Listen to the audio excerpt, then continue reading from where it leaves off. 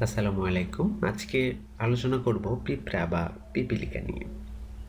এই পিঁপড়া বা পিপিলিকা হল ফর্মিসিডি গোত্রের অন্তর্গত সামাজিক কীট বা পোকা। পিঁপড়া তাদের ঘনিষ্ঠ প্রজাতি বোলতা ও মৌমাছির মতোই একই বর্গ হাইমেনসেপ্টারার অন্তর্গত।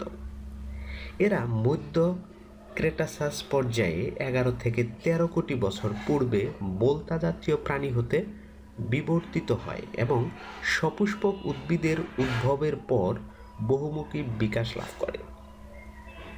এখন পর্যন্ত অনুমান করা যায় বাইশ হাজার এরও বেশি পিঁপড়া প্রজাতির মধ্যে পনেরো হাজার সাতশোটির বেশি প্রজাতি এবং উপপ্রজাতি শ্রেণীবিন্যাস করা হয়েছে। বাকিগুলার এখনও শ্রেণীবিন্যাস হয়নি।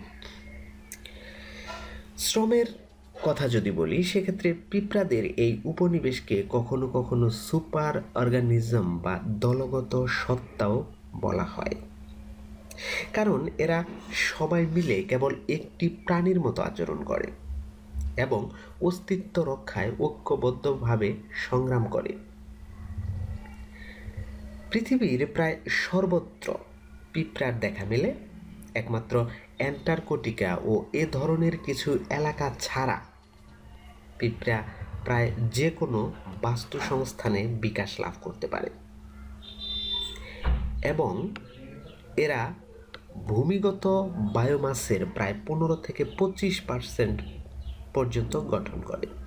তাদের এই সাফল্যের কারণ হল তাদের সামাজিক সংগঠন, দ্রুত বাসস্থান পরিবর্তনের ক্ষমতা, রসদ জোগাড় করার ক্ষমতা এবং নিজেদের রক্ষা করার পারদর্শিতা। পিপিলিকা সমাজে শ্রম বিভাগ ব্যক্তিগত পর্যায়ে যোগাযোগ এবং জটিল সমস্যা সমাধানের ক্ষমতা রয়েছে এই পিঁপড়ার। মানুষের সাথে এই সাজু সাজুগুলো মানে এই পিঁপড়াগুলো তাদের গবেষণার জন্য খুব আকর্ষণীয় প্রাণী গড়ে তুলেছে। অনেক মানব সমাজে আবার পিঁপড়াকে খাদ্য, ঔষধ এবং ধর্মীয় আচার অনুষ্ঠানে ব্যবহার করা হয়।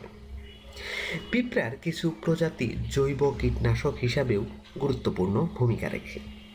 তবে পিঁপড়া মানুষের মাঝে মাঝে মাঝে ক্ষতিকরের কারণও হয়ে দাঁড়ায়। পিঁপড়া ফসলের ক্ষতি করে এবং দালান কোঠার ধ্বংস সাধন করে।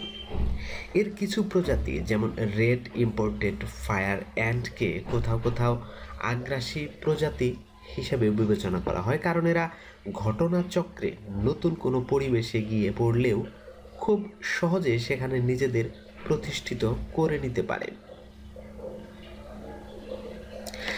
পিঁপড়ারা বিশ্বজুড়ে ছড়িয়ে আছে। এদের সব মহাদেশেই দেখা যায়, শুধুমাত্র অ্যান্টার্কটিকা ও কিছু দ্বীপ ছাড়া। যেমন গ্রিনল্যান্ড, আইসল্যান্ড, পলিনেশিয়ার কিছু অংশ এবং হাওয়াইনের দ্বীপ।